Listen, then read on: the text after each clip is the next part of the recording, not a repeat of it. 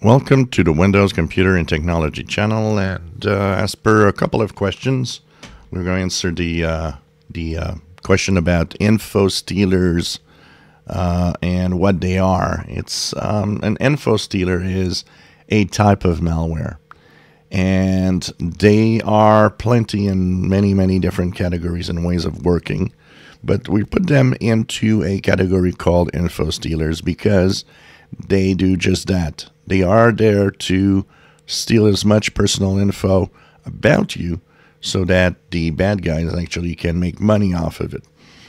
So it can be uh, in different ways. A keylogger that looks at what you're typing on the keyboard, uh, form grabbing, which is data submitted in forms on the web pages are scooped up, all the information scooped up uh, clipboard hijacking. If you have anything on a uh, your PC's infected and you put like you know a lot of um, do a lot of copy of documents and, and, and, personal information sheets on the clipboard of your PC, you can go and check it out. Screen, ca- screen captures sometimes they just sc- screenshot and there they see things, including maybe you were typing a password uh, and they could see it. That's why passwords are often, um, you know, kind of hidden. It's not just so that other people can't see them. It's also to make sure that screen captures, for example, will not see them.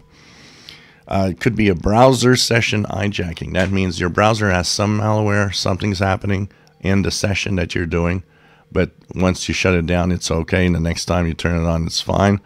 Um, that can happen if you know, some kind of malware you know attacks the browser itself. That's why security updates are important for browsers. Um, it could be man in the middle or man in the browser attack, where something somewhere scoops up information that is out in the open, in the clear.